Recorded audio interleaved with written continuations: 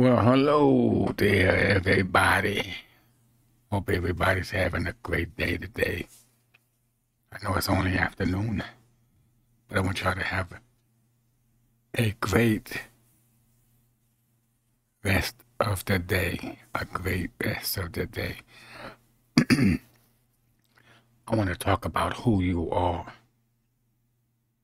You don't know who you are yet? I'm about to tell you who you are according to God the Father. According to God the Father, who you are. You are His, you belong to Him.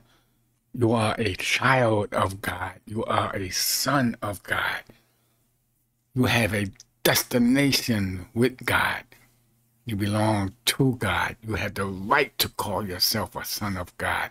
God said you have a right to be called sons of God. Amen. You walk with God. You are God's property. He has anointed you and He has appointed you.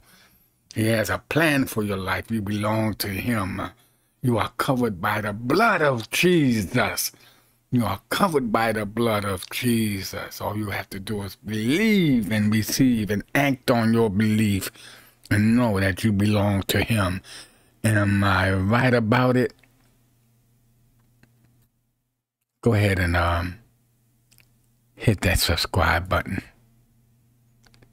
Love you all. Just know that you belong to the Lord God Almighty. Amen. Amen.